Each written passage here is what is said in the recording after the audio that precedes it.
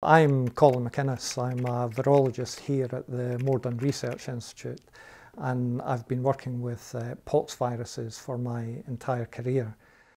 I, I do wonder whether the uh, gene drive technology could be used uh, in, a, in a different way. Uh, that is, you know, not in the removal of the grey squirrels, but possibly in making them uh, more resistant actually to the squirrel pox virus, you know.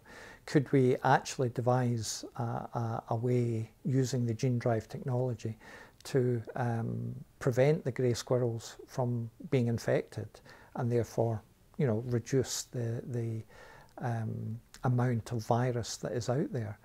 Um, if we can't stop them getting infected, could we use the gene drive technology to stop the grey squirrels from passing the virus on to red squirrels?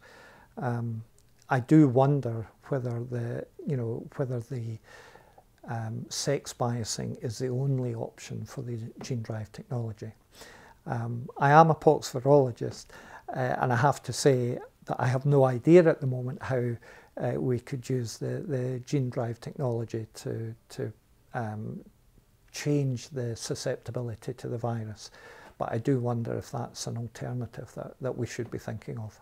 I'm certainly not an expert in gene drive technology, but uh, to me, if it works, um, it is probably a, a, good way of achieving uh, what the people who are using the immunocontraceptive are trying to achieve, but hopefully in uh, a less precarious or a less dangerous way in terms of uh, having an effect on other species.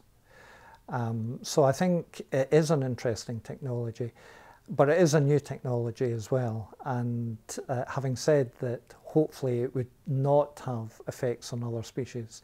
I think, um, again, the natural caution is to uh, just be sure that there wouldn't be any other effects on, on other species sharing the woodlands.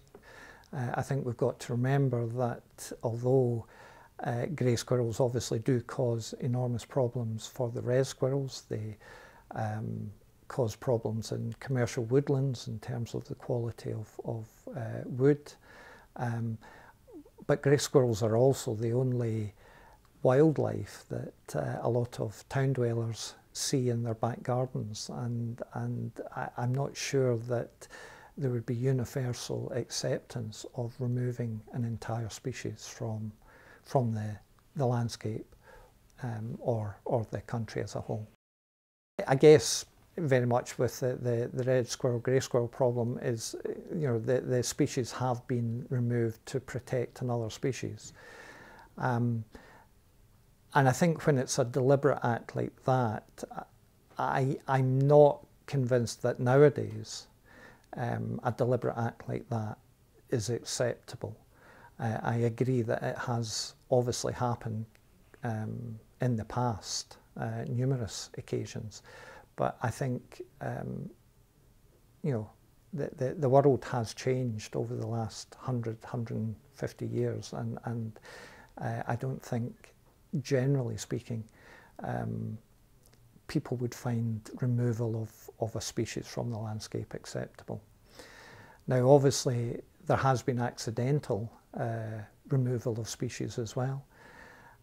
But again, I come back to this being a very deliberate act of removing a species from the landscape. The fact that it would be a deliberate act, I think, would be unacceptable.